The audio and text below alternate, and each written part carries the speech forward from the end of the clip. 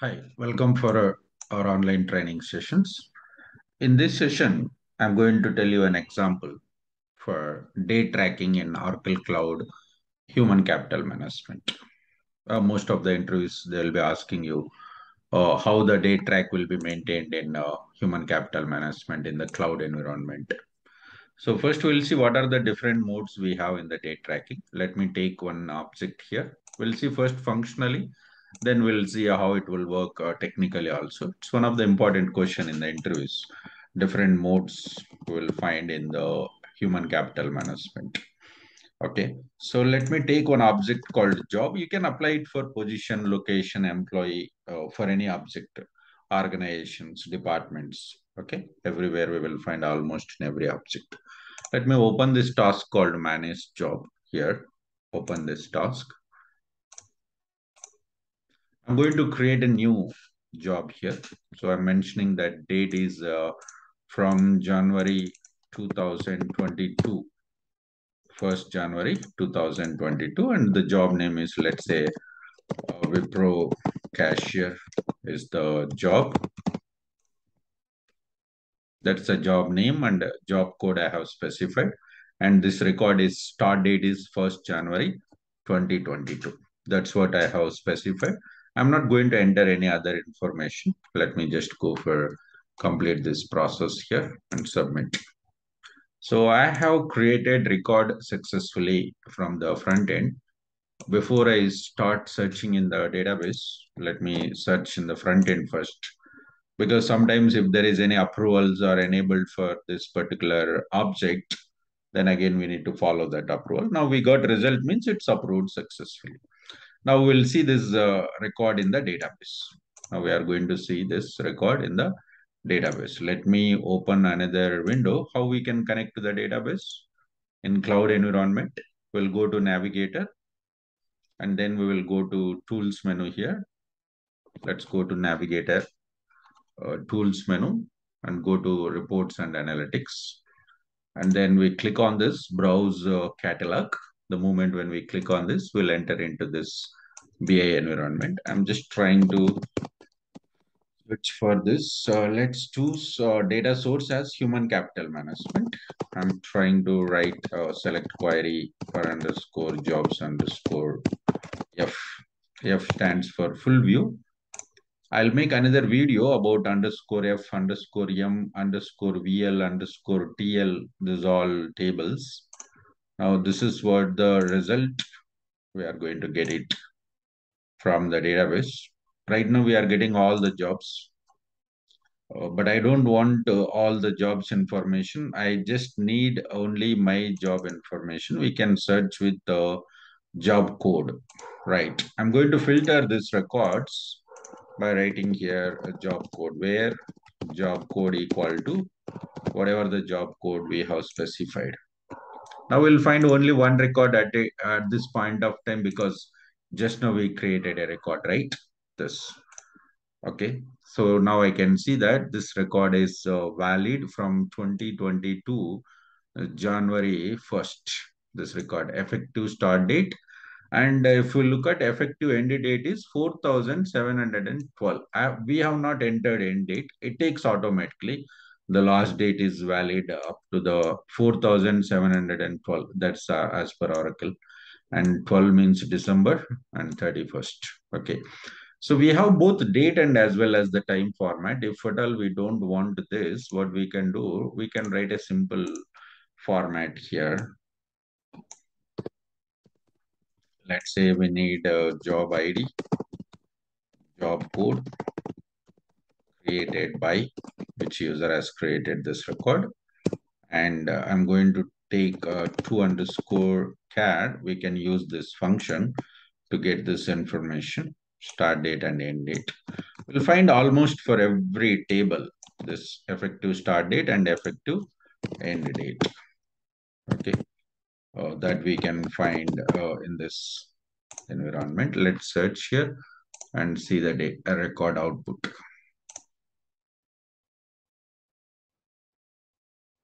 Now we can find this. This is our job code, job ID created by so-and-so user. Start date is 1st January 2022. 31st December 4712. That's the last date. Now I would like to modify this record. Whenever we want to modify the record, what we will do? We'll open this task. We'll open this task, search for this, sorry, search for the record. And when I go for edit, now two modes are there.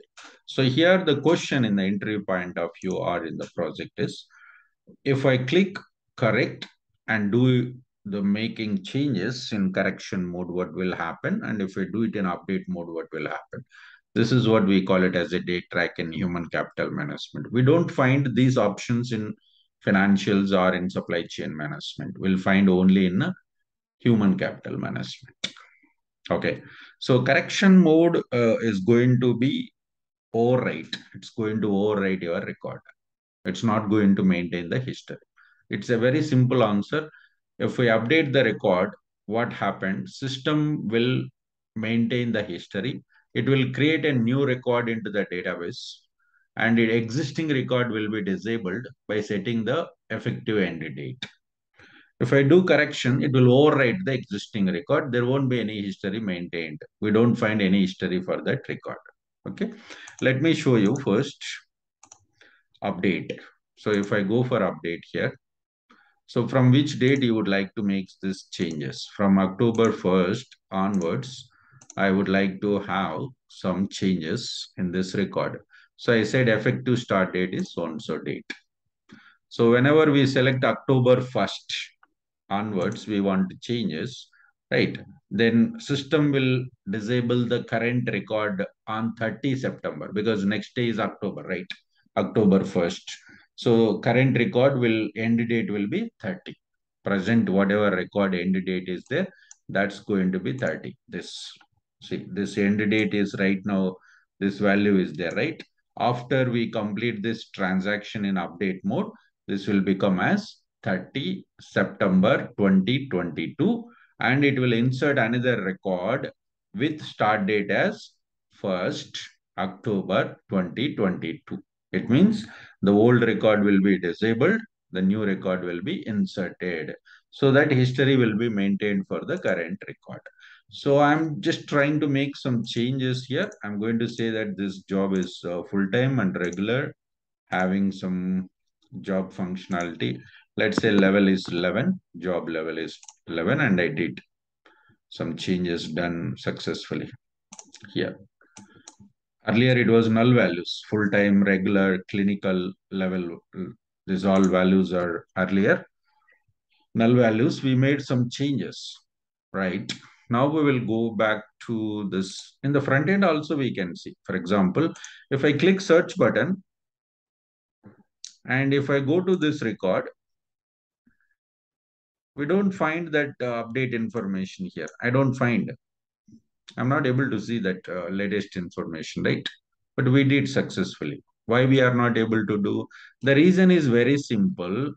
You are searching for a record with effective date of today. Today is 15th September, right? Today is 15th September. Obviously, 15th September, this information only is there. This information is fixed up to 30 September. Whatever the changes we have done, those are effective from 1st October. For example, I want to know what will be this record on October 1st. So go for October 1st, 2022, and then you can find this record changes. Whatever the changes we have done, we can find here. So you can see the future uh, updates also because you can specify the effective uh, as of date, whatever the date you would like to see that we can enter and go for search the data here it is. Okay. So now the same information I wanted to see in the backend. Obviously, uh, in the backend also two records we will find. We'll find. See, now the old record it's valid uh, from 1st January 2022. See this ended on 30th September. And the new record is valid from 1st October.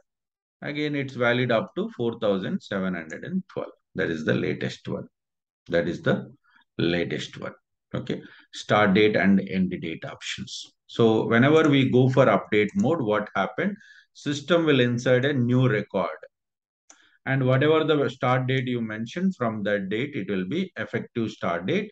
The previous record, previous date will be ended. We selected from October 1st, our update record should be exist. Then what happened? Immediately it took 30th September is the previous day. Previous day, that is the end date. Means from October 1st onwards, if you search in the application, in the front end, if you search, you don't find the old record, you will find the latest one. Okay, depends on the date. So internally, we'll, we'll find this data, effective start date and effective end date. That's why whenever we are working in human capital management, when we are working with BI reports, whenever we are writing the queries, we will find multiple records, means duplicate records. We have to be very careful with the end date, effective end date and effective start date that we have to take care. That's why almost in every query, we are going to write a filter.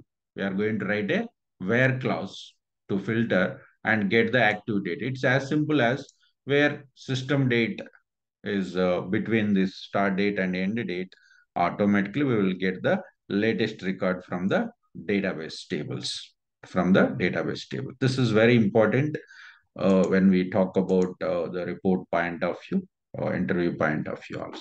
Okay. Thank you.